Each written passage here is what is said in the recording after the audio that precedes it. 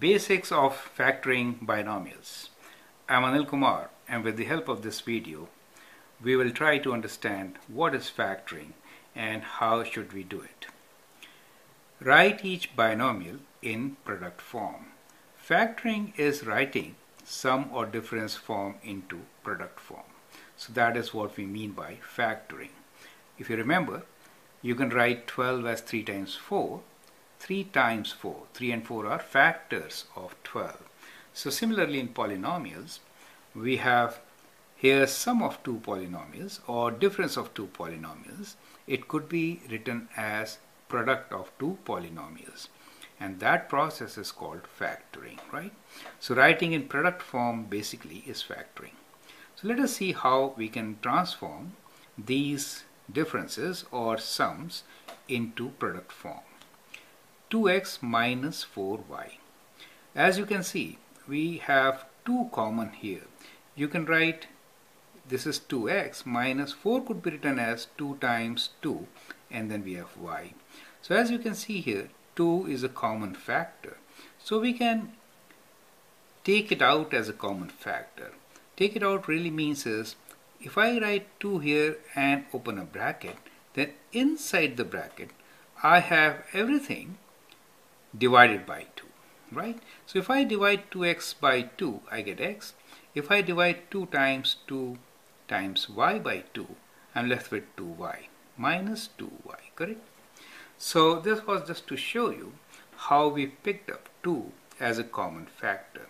So factor of 4s are 2 and 2 so we see between 2x and 4y we have a common factor of 2 and this process is called factoring and here we did factoring by taking out a common factor right?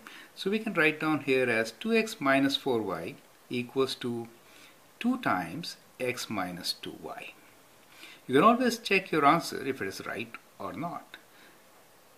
Product of 2 times x minus 2y should give you the original binomial.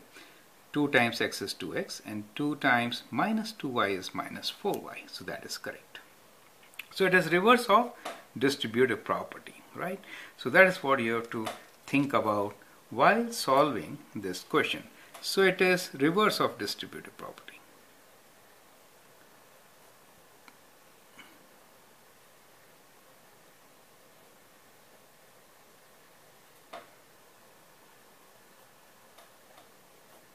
So writing in product form, which is reverse of distributive property, is factoring.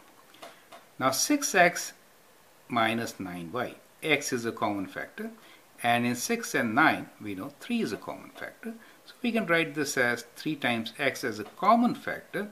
What remains is 6x divided by 3x is number 2 and 9x divided by 3x is number 3, right? So this is what remains. So that is what we'll write in the bracket, right? You can always solve, simplify it. Well, you know it is minus 1 so you get minus 3x in this particular case. 2 minus 3 is minus 3x which is indeed the case. You could have done it directly also. But the idea is to learn the process of factoring. So that is how you factor. Now we have 15a minus 10ab here a and a are common factors and in numbers we have 5 as common factor. So we can write this as 5 times a as a common factor 15a divided by 5a will give us 3. 10 divided by 5 minus 10 will give us 2. a and a cancel out, you're left with b. So 3 minus 2b is the factored form of the binomial given to us. Let's do some more. So 5 plus 25a, 2m plus 6, 12 minus 8a. You can pause the video, do these questions and then check with my answers. 5 plus 25a, 5 is a common factor. If I take 5 as a common factor, what remains here? 5 divided by 5, which is number 1. So we get 1 plus 5a, right? Now here, 2 is a common factor, so we get m plus 3. And in this case, 4 is a common factor. 12 divided by 4 is 3, and minus 80 divided by 4 will be minus 2a. So that is the result, right? So that is how we can factor binomials, correct? Now here are two practice questions for you.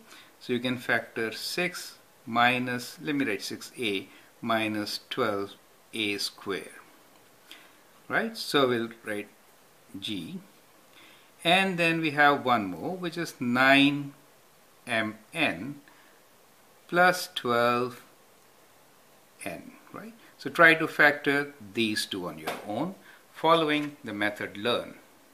I hope that helps. Thank you and all the best.